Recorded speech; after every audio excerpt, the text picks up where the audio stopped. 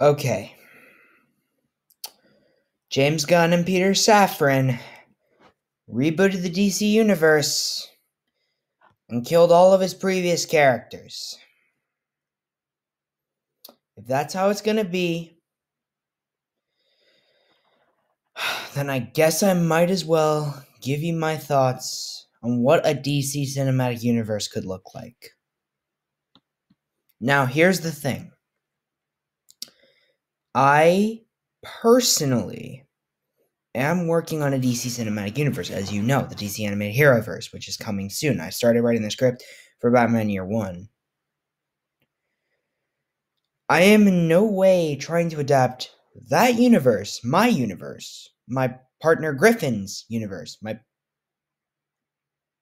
producing partner, not partner partner. I'm not trying to make that the headline.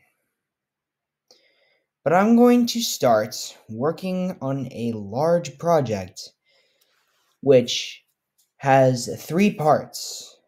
A completes the Snyderverse.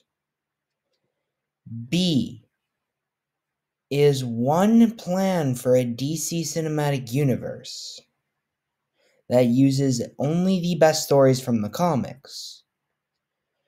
And three, one that incorporates or is incorporated into the Pattinson Reeves Batman universe.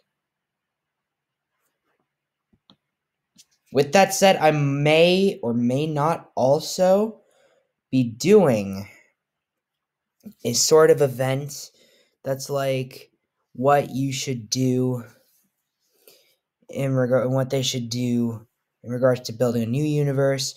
It's going to be really weird. It's going to have casting and all that stuff based on what I've heard and how I'd fit in certain characters.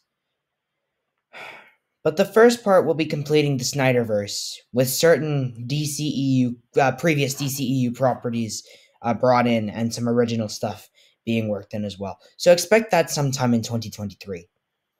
If that's what you're going to do, James Gunn and Peter Safran, all I can say is bring it on.